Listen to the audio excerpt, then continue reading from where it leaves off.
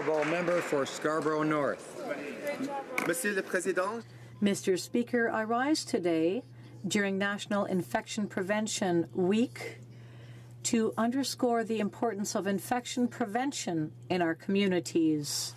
One of my constituents in Scarborough North, Aisha Riaz, was only 24 years old when she tragically died earlier this year, only three days after giving birth to her beautiful little boy. Septic shock resulting from a bacterial infection left young Isa without her, his mother, Ahmed Salim without his loving partner, and our community without an intelligent woman who had a bright future ahead of her. It is not fair, yet such tragedies can be prevented.